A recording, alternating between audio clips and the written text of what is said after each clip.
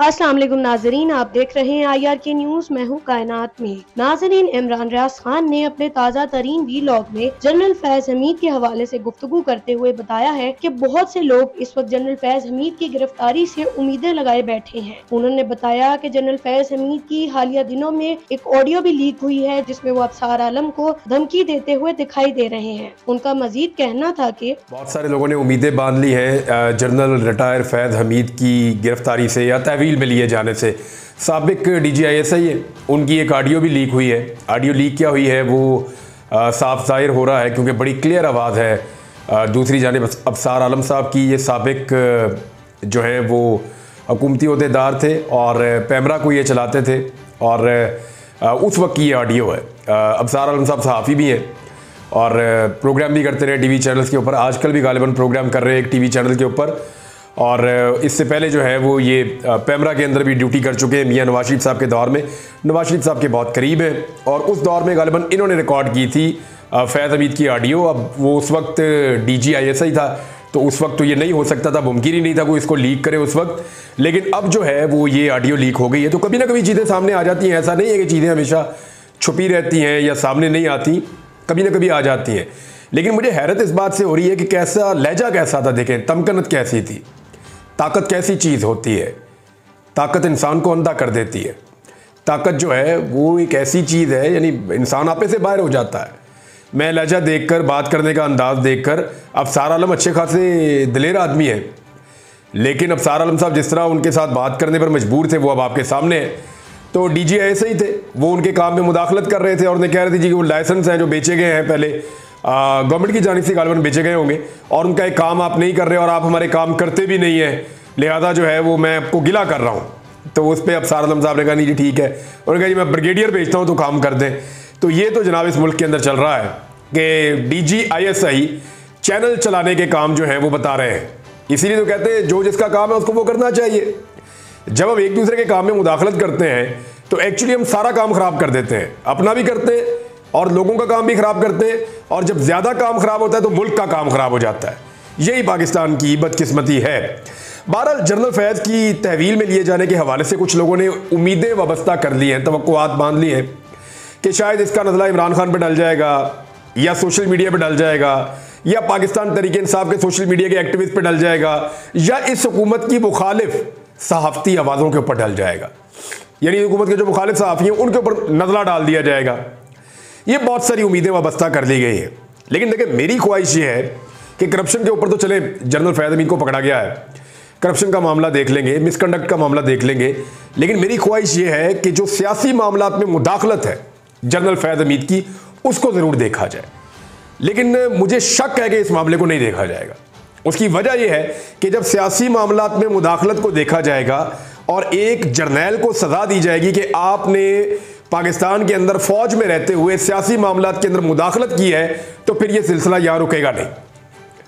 यानी इसकी सजा सिर्फ़ एक पोलिटिकल पार्टी को नहीं मिल सकती, या आप इस जर्नैल को एक पोलिटिकल पार्टी से नहीं जोड़ सकते, बल्कि ज़्यादातर ये दूसरी पॉलिटिकल पार्टी से जुड़ जाएँगे। फिर तरीके लबैक के मामला खुल जाएँगे, फिर पीएमएल के बहुत सारे मामला खुल जाएँगे फिर बाकी और पॉलिटिकल पार्टी हैं उनके भी खुल जाएँगे। फजल रहमान साहब क्या कहते हैं? वो मामला भी खुल जाएँगे। फिर पाकिस्तान तरीके इंसाफ के भी कुछ मामला खुल जाएँगे। तो बात बड़ी सीधी है कि तरीके इंसाफ ने कल्ले नहीं फंसना। अगर तो ये करना है तो इस समाम में सारे ही नंगे हैं, सारे के सारे फंस जाएँगे। लेकिन मेरे ख्याल में अगर इदारे सियासत में मुदाखलत ना करें तो ये पॉलिटिकल पार्टीज़ को भी कोई ज़रूरत नहीं है, वो भी अपनी सियासत करेंगी। अब पॉलिटिकल पार्टीज़ की मजबूरी बन जाती है कि जनाब, अब ये इतनी ज़्यादा मुदाखलत कर रहे हैं मुझे लगातार मार पड़ रही है तो मैं क्यों ना थोड़ा ताल्लुक बना लूँ कि मुझे मारना पड़े? मुझे अच्छी तरह याद है कि राणा सनाउल्ला साहब थे पंजाब के वज़ीर कानून। उन्होंने एक दफ़ा बड़ी लॉजिकल बात की। पंजाब के अंदर दहशतगर्दों के हमले शुरू हो गए और उस वक्त जो है वो एक गवर्नमेंट के कुछ लोगों ने बातचीत की दहशतगर्द ग्रुपों के साथ और उन्हें कहा, जी कि आप ये ये अटैक ना करें। तो उन्होंने अपने आप को महफूज करने की कोशिश की। अब इस पर मुझे राणा सनाउल्ला साहब ने उस वक्त कहा था कि अगर वो लोग बात कर सकते हैं तो हम बात क्यों नहीं कर सकते? हम अपने आप को क्यों ना महफूज करें? तो ये सियासतदान की मैंटेलिटी होती है कि जहाँ से मार पड़ रही होती है, सख्ती आ रही होती है, वो कोशिश करता है कि वहाँ थोड़ा ताल्लुक ही बना लें। सियासतदान जो है तो वो ताल्लुक बनाने की कोशिश करेगा। अब मामला ये है कि अगर तो यानी मैंने कहा था, मामला यहाँ रुकेगा नहीं। वो इसलिए नहीं रुकेगा कि अगर एक जर्नैल को सजा होगी तो बाकियों के लिए भी ये रास्ता खुल जाएगा। फिर देखना पड़ेगा मामला शुरू कहाँ से हुआ। मुजीबुर रहमान शामी साहब हैं सीनियर जर्नलिस्ट हैं। उन्होंने भी कहा ना, उन्होंने कहा, मामला तो शुरू होता है अयूब खान से, सियासत में मुदाखलत का। तो ये मामला तो आज भी चल रहा है। तो इस मामले को कहाँ ब्रेक लगानी है? क्या एक को पिक एंड चूज़ करके सजा देनी है या सबको देनी है? देखिए, अगर करप्शन पे और मिसकंडक्ट पे होगा तो बिल्कुल ठीक है। वो तो बिल्कुल ठीक है। वो तो फैज अमीर साहब के साथ वही होना चाहिए जो उन्होंने किया है। जो उन्होंने गुनाह किया, उसकी सजा उनको मिलनी चाहिए। पाकिस्तान तरीके इंसाफ भी ये कह रही है। हमारा कोई ताल्लुक नहीं है, फौज का अंदरूनी मामला है। नवाज़ शरीफ ने भी यही कहा है। फौज का अंदरूनी मामला है। इसके जो सियासी इश्यूज़ हैं, उनके ऊपर तो सियासतदान बात करेंगे। लेकिन ये अंदरूनी मामला है, फौज जाने, फौज का काम जाने। ये सारे कह रहे हैं। तो ये तो बिल्कुल ठीक है। लेकिन अगर मेरी ख्वाहिश के मुताबिक, या आम पाकिस्तानियों की ख्वाहिश के मुताबिक, कि फौजी कोई, जो है, वो मुकदस गाय नहीं होते उनके खिलाफ भी कानूनी कार्रवाई होनी चाहिए अपने हलफ से खिलाफ वर्जी करने पर और सियासत के अंदर मुदाखलत करने पर।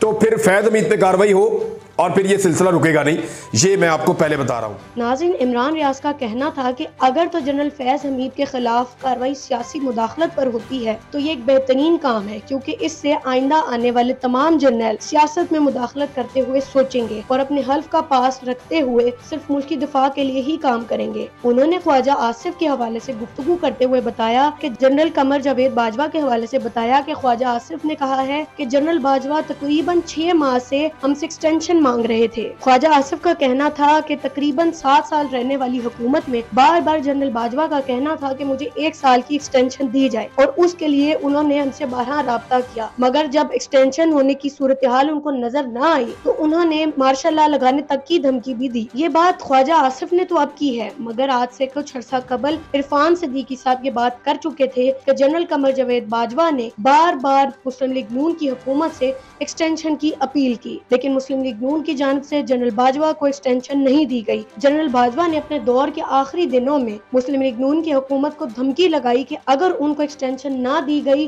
तो वो मार्शल ला लगा देंगे। लेकिन मुस्लिम लीग नून ने पहले इस हवाले से गुफ्तगु नहीं की। जब जनरल रिटायर्ड कमर जवेद बाजवा इस तरह की धमकियाँ मुस्लिम लीग नून की हुकूमत को लगा रहे थे, तब मुस्लिम लीग नून ने इस हवाले से कोई बात नहीं की। इसके बाद इमरान रियाज खान ने मजीद बताया की जनरल कमर जवेद बाजवा इमरान खान से भी ऐवान सदर में आरिफ अलवी की मौजूदगी में मिले थे और उस मुलाकात के दौरान ये तय पाया था कि मुख्तसर मुद्दत के लिए जनरल बाजवा को एक्सटेंशन दे देते हैं और हुई इलेक्शन होंगे तो आने वाली हुकूमत अपनी मर्ज़ी से आर्मी चीफ मुंतखब करके निज़ाम को महफूज कर सके। जिसका मतलब ये है कि जनरल रिटायर्ड कमर जवेद बाजवा ने सिर्फ़ मुस्लिम लीग नून ही नहीं, बल्कि इमरान खान से भी एक्सटेंशन की अपील की थी। मुस्लिम लीग नून की हुकूमत के आने के पहले वो इमरान खान को धमकाते रहे, उसके बाद मुस्लिम लीग नून को उन्होंने धमकाया कि उनको एक्सटेंशन दी जाए। इमरान रियाज ने इस पर तजिया देते हुए कहा कि ये बहुत बड़ी मुदाखलत है कि एक आर्मी चीफ अपनी एक्सटेंशन के लिए हर सियासी जमात पर दबाव बढ़ाता है और ना मिलने की सूरत में जमहूरियत का तख्ता उलटने की धमकियाँ लगाता है। पाकिस्तान में अब ये सिलसिला बंद होना चाहिए। नाजिन, उसके बाद उन्होंने राना सनाउल्ला के ऑफ़र के हवाले ऐसी बताते हुए कहा, राना सनाउल्ला ने आर्मी चीफ की एक्सटेंशन के हवाले ऐसी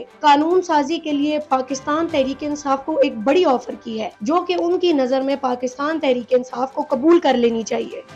राना सनाउल्ला साहब ने कहा, ये वजी अजम के मुशीर हैं, आप याद रखिएगा, और इन्होंने नवाज़ शरीफ साहब के साथ मुलाकात भी की है अभी। ये इनकी कल ही मुलाकात हुई है नवाज़ शरीफ से और सारी पार्टी की क्यादत बैठी हुई थी। शबाज शरीफ, नवाज़ शरीफ, मरियम, हमजा, घर के सारे बंदे बैठे हुए थे, बाहर के चार छः और थे। तो ये सारे बैठ के कल तय करके उठे हैं। इसाक डार साहब भी वहाँ पे थे। तो इन्होंने बात की कि आइन में ऐसी तरमीम होनी चाहिए कि एक्सटेंशन का सिलसिला ख़त्म हो जाए। जनरल बाजवा ने एक्सटेंशन की बात ख्वाजा आसिफ से की, हो सकता है ये बात जनरल बाजवा ने मलक अहमद खान से ना की हो। क्योंकि मलक अहमद खान बाजवा के दोस्त हैं, वो कह रहे हैं जी वो तो सामने लोगों को कह रहे थे मुझे एक्सटेंशन नहीं चाहिए। भाई, सामने बंदा कुछ और कहता है बाज़ात जो है वो पसे पर्दा कोई और बात कर रहा होता है। और जनरल बाजवा के बारे में मशहूर है कि वो ऐसा किया करते थे। यानी मुँह पे कोई और बात करते थे, अंदर कोई और बात करते थे। यानी हम सहाफ़ियों के साथ जब वो बैठते थे तो वो ये कहते थे कि ये बातें मैंने आपके साथ कर तो दी हैं। लेकिन आपने बाहर जाके मेरा नाम नहीं लेना। यानी ये सारे सहाफ़ी इकट्ठे बैठे हुए थे। मैं कभी अकेला नहीं मिला जनरल बाजवा को। जब भी मिला हूँ सहाफ़ियों के साथ मिला हूँ। अकेला नहीं मिला। तो उससे मुलाकात में अरशद शरीफ साहब भी मौजूद थे, मुझे याद है। तो उन्होंने कहा था, जी, आपने ये बात बाहर जाके मेरे ज़िम्मे से नहीं कहनी, या मुझे कोट करके नहीं कहनी। तो चंद साफियों ने कहा, जी, अगर हम कह दें तो उन्होंने कहा, मैं फिर डिसोन कर दूँगा। हँसते हुए उन्होंने कहा। तो जनरल बाजवा अंदर कोई और बात, बाहर कोई और बात, वो कर लेते होते थे। अब मामला यह है कि इससे बड़ी तो खुली कोई मुदाखलत हो नहीं सकती सियासत में कि जमहूरियत का तख्ता ही मैं उलट दूँगा अगर मुझे एक्सटेंशन ना दी गई तो। तो जनरल बाजुआ के ऊपर भी केस बनना चाहिए। अगर तो सियासत में मुदाखलत का केस बनाना है तो। राणा सनाउल्ला साहब ने जो ऑफ़र दी, उन्होंने कहा जी, एक ऐसी तरमीम होनी चाहिए आइन में कि ये एक्सटेंशन वाला सिलसिला ही हमेशा के लिए बंद हो जाए। तो पाकिस्तान तरीके इंसाफ को कल इसके ऊपर प्रेस कॉन्फ्रेंस करनी चाहिए, बल्कि आज ही करनी चाहिए। और खुलकर इसके ऊपर बात करनी चाहिए कि जनाब, हमारे जितने वोट हैं, अस्सी हैं, नब्बे हैं, सौ हैं, एक सौ दस हैं, सारे वोट हम आपको देंगे। आप ये मुल्क के अंदर एक्सटेंशन का सिलसिला हमेशा के लिए बंद कर दें। मुझे अच्छी तरह याद है, इमरान खान साहब के पास कुछ पैगाम रसा आए थे और वो आए थे मियाँ नवाज़ शरीफ साहब वगैरह को मिलकर। तो तब भी ये बात हुई थी तो इमरान खान साहब ने कहा था, जी, इसके लिए तो मैं बिल्कुल राज़ी हूँ कि आप आर्मी का रोल फिक्स कर दें और जो मुद्दत है उसका मामला भी आप फिक्स कर दें। और साथ ही आप मीशत के ऊपर भी एक मिसाक कर लें, सारा मुल्क ये तय कर दें, सारी पॉलिटिकल पार्टीज़ और इलेक्शन के ऊपर भी आप तय कर लें कि पाकिस्तान में इलेक्शन कैसे होंगे, ताकि आइंदा किसी को एतराज़ ना हो। ये तीन उन्होंने बड़े मामला कहे थे, एक मीशत, एक साफ़ और शफाफ इलेक्शन और एक उन्होंने कहा था कि आर्मी चीफ की तैनाती और उनकी मुद्दत, मुलाजमत के मामला जो हैं, उनको तय कर लिया जाए, ताकि आइंदा जो है वो जो फड्डा पाकिस्तान में पड़ जाता है, वो पड़े ही ना। तो ये राना सनाउल्ला साहब की एक बड़ी अच्छी ऑफ़र है। पाकिस्तान तरीके इंसाफ को इसको वेलकम करना चाहिए और पाकिस्तान तरीके इंसाफ को चाहिए कि वो अब हुकूमत को भागने ना दे, बल्कि उन्हें कहे कि ठीक है, आप पेश करें बिल, हम आपके साथ खड़े हो जाएँगे। इस आइनी तरमीम को लेकर आएँ, हम इसको मंजूर कराएँगे, हमारे सारे सेंटर्स और सारे एम इसके अंदर शामिल होंगे। और एक्सटेंशन किसी भी अहदे पर नहीं होनी चाहिए। ना अदलिया में होनी चाहिए, ना ब्यूरोक्रेसी में होनी चाहिए, ना पुलिस में होनी चाहिए। किसी महकमे में किसी जगह पे एक्सटेंशन होनी नहीं चाहिए। फौज में भी नहीं होनी चाहिए। कहीं भी नहीं होनी चाहिए क्योंकि एक्सटेंशन की वजह से मेरिट का कत्लेआम होता है, जिससे प्रॉब्लम्स पैदा होती है। नाजिन, उसके बाद उन्होंने फायर वॉल के हवाले से गुफ्तु करते हुए बताया कि फायर वॉल के नष्ट होने के बाद से पाकिस्तान में इंटरनेट स्लो होने की वजह से पाकिस्तानी आईटी इंडस्ट्री और पाकिस्तान की मीशत को लगभग 500 मिलियन डॉलर का नुकसान हो चुका है। फ्रीलांसर्स और ऑनलाइन कम्युनिटी खसूस इससे असरअंदाज हुई है। फ्रीलांसर्स और तमाम वो लोग जो ऑनलाइन कमाई करते हैं, इस वक्त शदीद परेशान है। इमरान रियाज का कहना था की पाकिस्तान में पहले ही कमाने के बहुत कम ऑप्शन मौजूद है। नाजिन, उन्होंने कहा की जो लोग पाकिस्तान के लिए ऑनलाइन कमा कर पाकिस्तान के आईटी सेक्टर के लिए रेवेन्यू लेकर आते हैं। इंटरनेट और फायरवॉल के नष्ट करने से उनका बहुत ज़्यादा नुकसान हुआ है। हुकूमत को चाहिए कि इस पर कान धरे और पाकिस्तानी फ्रीलांसर्स और वो लोग जो ऑनलाइन काम करते हैं, उनको सहूलियात दे। नाजिन, आखिर में उन्होंने हमाद अजहर के हवाले से बात करते हुए बताया है कि हमाद अजहर ने अपने अहदे इस्तीफा दे दिया है। हमाद अजहर साहब, दो मरतबा मंजर आम पे आए अभी, हाल ही में। एक वो पाँच अगस्त को आए स्वाबी वाले जलसे में। उसके बाद तेरह अगस्त की रात को वो निकले और लाहौर के अंदर उन्होंने गुलबर्ग की तरफ़ मार्च किया। उनके साथ पाकिस्तान तरीके इंसाफ के जवान मौजूद थे और वो गिरफ्तारी अवॉइड करते हुए एहतजाजी मार्च लेकर उसके बाद फिर वो गायब हो गए। तो हमाद अजहर साहब ने बड़ी ज़रूरत का मुजाहरा किया है और अभी तक वो गिरफ़्तार नहीं हुए ये उनकी एक स्ट्रेटजी है। क्योंकि वो गिरफ़्तार हो जाएँगे तो उनको ऐसे केसेस में डाला जाएगा। दर्जनों केसेज हैं उनके ऊपर कि फिर उनका बाहर आना भी इमरान खान की तरह नामुमकिन हो जाएगा। लेकिन हमाद अतर साहब ये कह रहे हैं कि क्योंकि मैं सामने आ नहीं सकता खुल के, जब आऊँगा, गिरफ़्तार कर दिया जाऊँगा। गिरफ़्तार हो जाऊँगा तो गैर मुसर हो जाऊँगा। और बाहर रह के मैं मुसर इसलिए नहीं हो सकता कि जो लोग इमरान खान को मिलते हैं, वो मखसूस इन्फॉर्मेशन पहुँचाते हैं इमरान खान साहब तक। और मखसूस इन्फॉर्मेशन बाहर लेकर आते हैं।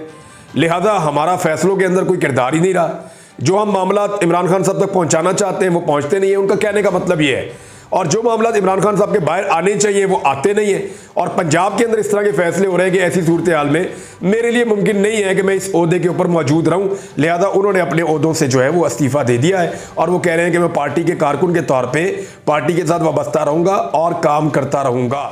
नाजरीन, अब तक के लिए इतना ही। देखते रहिए आई आर की न्यूज़ और अपने चैनल को सब्सक्राइब करना ना भूलिएगा। अल्लाह हाफिज़।